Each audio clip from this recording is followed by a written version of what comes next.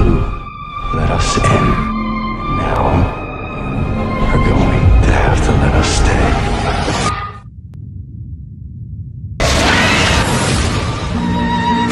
I've seen evil.